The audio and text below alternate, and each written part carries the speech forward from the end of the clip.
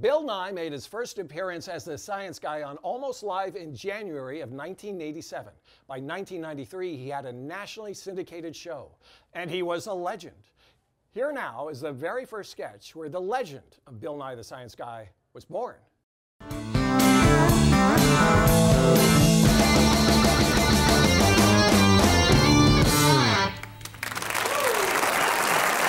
Welcome back.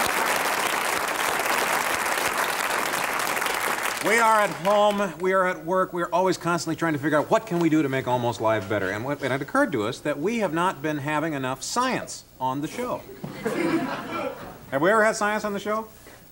We haven't ever had it. So. Yeah, I don't think so. Not enough, is it?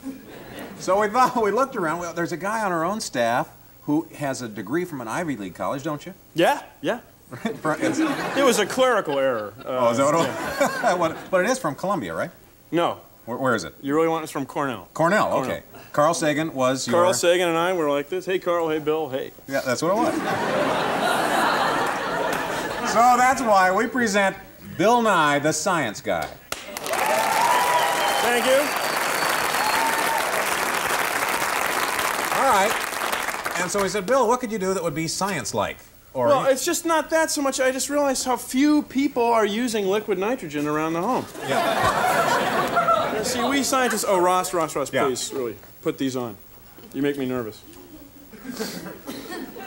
safety first, I guess. Yeah, safety first, right. All right. Now, for example, see, now we scientists. I feel like, I feel like I'm in a Jerry Lewis movie. Do you speak French? Huh? No, I don't. Okay, liquid nitrogen tips, household tips. Household tips. right. Well, it's just we scientists. For example, Uh-huh. here's an ordinary onion. Yeah. Okay, now how would you dice it? You'd use a cutting board, maybe a knife. Right. Yeah. Take you a few minutes, right? Okay. In the liquid Into the liquid it goes. nitrogen. Doesn't take long at all.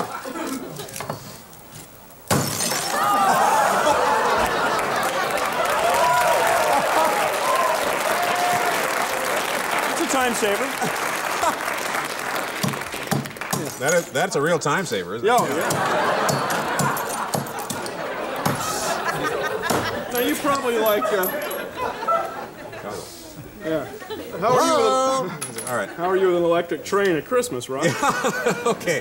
What else? Now, uh, when you go to poach an egg, Right. ordinary ladle. Uh-huh. Can we see this, everybody? Yeah, you just put an egg in a ladle. How Okay. And we just Incredible. gently set that in there. Uh-huh. Now, while that's uh, cooking. now, Ross, uh, you were a bachelor for a while, right? And Certainly. still, you travel quite a bit. Mm -hmm.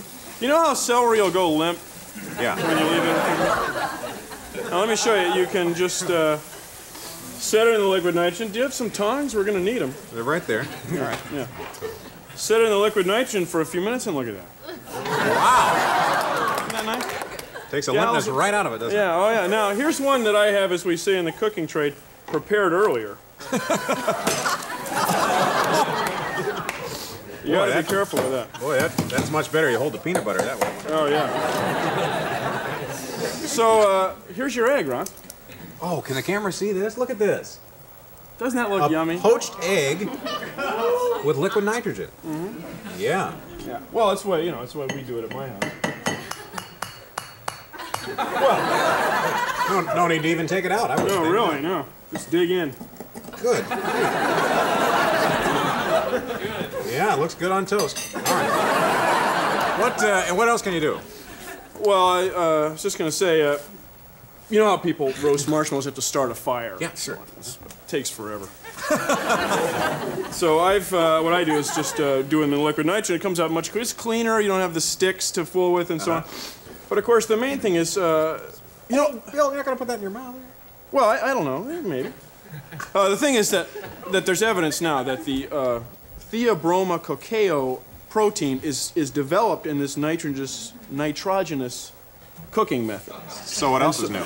So, well, it's because uh, you know the nitrogen's diatomic. So anyway, the, the the thing is that many people accept now that it is an aphrodisiac.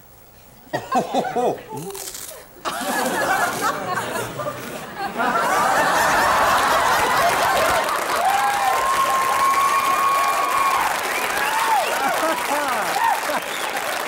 gentlemen, Bill Nye, the science guy. We'll be right back.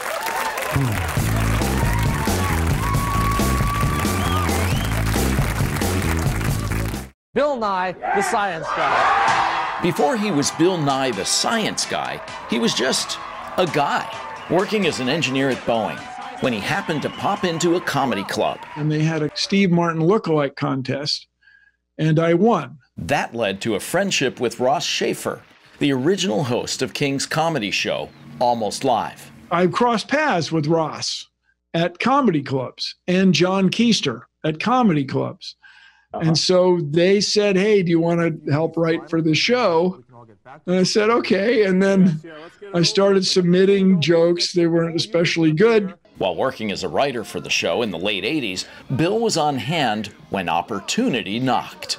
A guest didn't show up. Somehow, they had to fill six minutes. So Ross, at a writer's meeting, just offhanded, Well, you know, Bill, why don't you do that stuff you're always talking? You're always talking about science. Why don't you do? You could be Bill Nye, the science guy, or something. See it jiggling a little. Whoa! The bit was a hit. It became clear that the science guy should be a recurring character. You created a lot of fire in that studio. A tornado of fire. I know our facilities manager, Florence, had a lot of anxiety over that. How were you able to keep doing that? We were cautious. We had fire extinguishers around, and so we all got along. Since you asked, There's a big uh, cabbage luncheon at the Swedish Club. In addition to the science guy, Hello, I'm Bill Nye. Bill also appeared as various other characters, This looks like a job for including Speedwalker, Speed Walker. the superhero who fights crime while adhering to international rules of speedwalking. You do a great William Shatner impersonation. Mr. Scott, I need more power. but once you hear someone do Captain Kirk, it's it's pretty straightforward. He was having fun, but he wanted more. And I was worried about the future. Bill and his local producers took The Science Guy to a young global audience.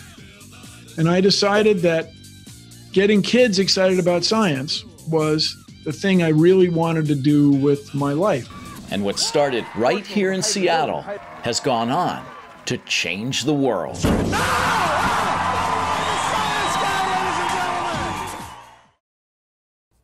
And a star was born. To watch full episodes of Almost Live, head to our streaming app, King 5 Plus.